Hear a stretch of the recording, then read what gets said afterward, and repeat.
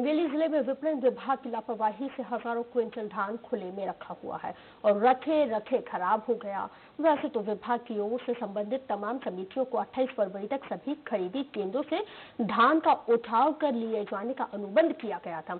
लेकिन तीन महीने गुजर जाने के बाद भी कई केंद्रों से धान का उठाव आज तक नहीं किया गया, जिसकी वजह से करोड़ों रुपए का धान बारिश और धूप में खराब हो गया।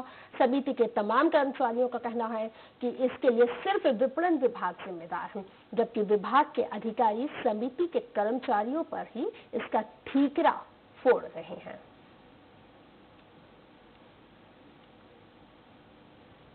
मुंगेली ज़िले में विपणन विभाग की लापरवाही की वजह से ज़िले भर में पचास हज़ार क्विंटल से भी अधिक का धान बारिश में और उठाव, समय पर उठाव नहीं होने की वजह से सड़ कर खराब हो गया है। आप यहाँ के प्रबंधक है, श्रवण कश्यप, उनसे हम जानना चाहते हैं कि आखिर ये किस तरीके की स्थिति थी जिसके चलते आज ये धान पूरा खराब हुआ है। सेवा सहकारी समिति गुरुवाइन डबरी में उनसठ हज़ार तीन सौ तीन क्विंटल की खरीदी हुई थी, जिसमें लगभग पचास हज़ार क्विंटल परिवहन हुआ है। और अभी भी लगभग साढ़े आठ हज़ार क्विंटल धान शेष पड़ा हुआ है।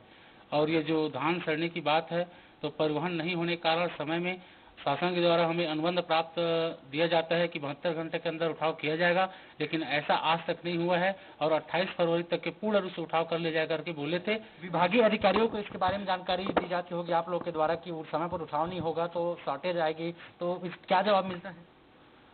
इसके लिए विभागीय कर्मचारी को उच्च अधिकारियों को मेरे द्वारा बार बार मौखिक रूप से एवं पत्र के माध्यम से अवगत कराया गया था कि धान का परिवहन जल्द जल्द कराया जाए करके, ताकि जितना ज़्यादा हो सके, ज़ीरो शॉर्टेज लाया जा सके। लेकिन किसी भी अधिकारियों के द्वारा सही समय में ध्यान नहीं दिया गया। और अगर सही समय परिवहन हो जाता तो रोहित कश्यप, संवाददाता, ज़्यादा जानकारी के साथ फ़ोन लाइन पर जुड़ गए हैं। रोहित हर बार एक विभाग दूसरे विभाग पर ज़िम्मेदारी का ठीकरा फोड़ देता है और अपनी जिम्मेदारियों से बच निकलता है जिसका अंजाम हम देख रहे हैं कि हज़ारों क्विंटल धान बर्बाद हो गया। देखिए विडम्बना ही कहेंगे इसे कि 28 फरवरी तक विपणन विभाग के दावे के मुताबिक ज़िले के नवासी उपार्जन केंद्र है वहाँ से धान का उठाव हो जाना था लेकिन आज मई के महीना खत्म होने को है यानी कि तीन महीना बीत जाने के बाद भी ज़िले के बयालीस उपार्जन केंद्रों में अभी भी हज़ारों क्विंटल धान पड़े हुए हैं और इसके अलावा आपको रोकना चाहूँगी सागर सिंह जुड़ गए हैं जिला अध्यक्ष है कांग्रेस से। सागर सिंह जी बहुत स्वागत और शुक्रिया जुड़ने के लिए। सरकार आपकी है। जो आदेश जारी किए जा रहे हैं, उनका भी इम्प्लीमेंटेशन नहीं हो रहा है। 28 फरवरी तक धान का उठाव हो जाना चाहिए था, लेकिन तीन महीने से ज़्यादा का वक्त गुजर गया। स्थिति वो ही जो भारतीय जनता पार्टी के कार्यकाल में थी। क्यों भाई?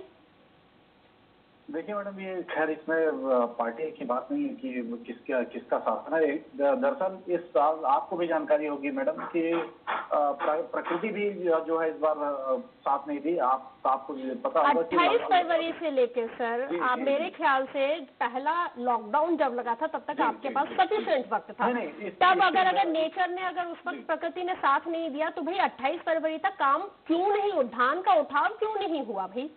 मेरा तो सीधा सवाल है। आप if and but if and but में मत उलझ- खुद उलझिए ना मुझे उलझाइए आप सीधे जवाब दीजिए।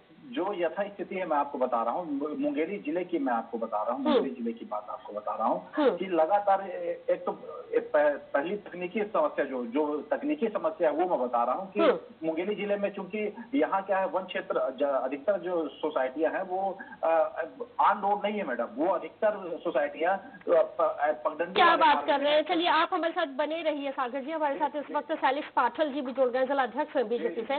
शैलेश जी कैसा विपक्ष है? कैसी ज़िम्मेदारी निभा रहा है? बताइए जरा धान का उठाव नहीं हो पा रहा है यहाँ पे हज़ारों क्विंटल धान बर्बाद हो गया है।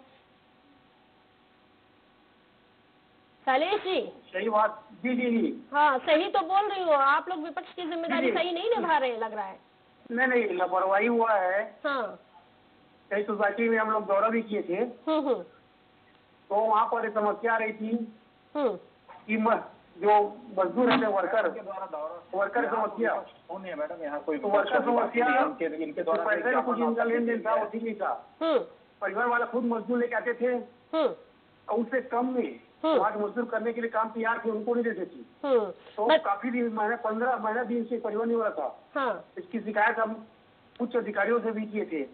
हाँ। कि केवल मजदूर के अफवाह में उठाव नहीं हो रहा करके परिवहन तो गाड़ी लग रही थी। हाँ। परंतु जो उठा उठाव करने वाले जो मजदूर थे हाँ। वो समस्या ख्याल नहीं रख पा रहे थे। ठीक है। तो सागर जी जवाब दीजिए भाई। देखिए मैडम आपको वही आपको बताना चाह रहा हूँ एक तो प्रकृति हमारे साथ नहीं थी दूसरा जो लॉकडाउन की स्थिति बनी है इसके बाद सर लॉकडाउन की स्थिति मार्च में बनी है सर सुनिए सागर जी। लॉकडाउन पे आप चीज़ें नहीं डालिए। आप तो ये बताइए कि आप लोग अधिकारियों पे कसावट नहीं है? आप अगर सरकार ने आदेश निकाल दिया सुन लीजिए ना सागर जी सुन तो लीजिए सागर जी। सरकार ने आदेश निकाल दिया तो सरकारी आदेश की अवहेलना की जाएगी? कितना क्विंटल धान बर्बाद हुआ है? अगर ये धान गरीबों में बढ़ जाता तो कितनों का भला हो जाता? बिल्कुल बिल्कुल। मैं इस बात को से एग्री करता हूँ। दिक्कत ये है मैडम कि थोड़ा सा इसमें आपको बता, जानकारी देना चाहूँगा। मैं लगातार लगातार आप पूछिएगा, जो अभी आपसे में जुड़े हुए थे थे, आदरणीय श्रवण जी, जो गुरुवाइन डबरी के जो धान खरीदी प्रभारी है, मैं खुद उनकी सोसाइटी में दो तीन बार जा चुका हूँ। और इस सिलसिले में लगातार मैं अधिकारियों से भी संपर्क में रहा हूँ ट्रांसपोर्ट अब आप सोच लीजिए सागर जी आप भी दो तीन बार जा चुके हैं संपर्क करने के बाद भी अगर ये स्थिति है तो जो बेचारा गरीब किसान मजदूर पहुँचता होगा उसकी तो सुनवाई नहीं होती होगी। जरा सोचिए मंथन करने की ज़रूरत आ गई है अब आप लोगों के लिए। बहुत शुक्रिया सागर जी जुड़ने के लिए बातचीत करने के लिए। शैलेश जी आपका भी बहुत शुक्रिया। हमारे साथ हमारे सहयोगी जुड़े हुए थे। उनका भी शुक्रिया तमाम जानकारी के लिए। चलिए एक्सप्रेस